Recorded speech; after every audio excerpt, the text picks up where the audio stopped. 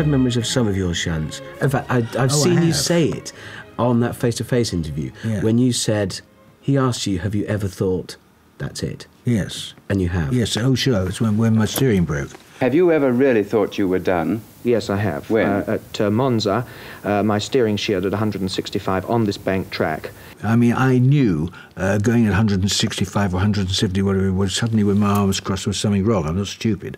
I am not normally afraid of killing myself. I am frightened of being killed by something over which I have no control. And I, and I thought, oh, God, this is it. I mean, that's it. And I remember closing my eyes and forcing back. I was absolutely convinced that I was a goner.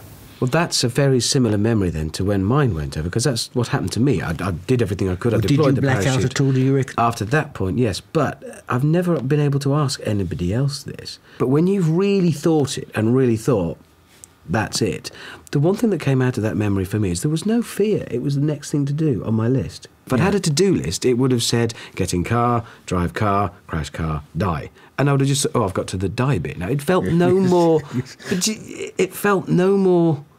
Yes, no, it opens a thing. I must say, I can remember so well closing my eyes and thinking, Christ, what's going to happen? Yeah. I'm going to die, but And what what, what does it? What Yes, does it mean? yes.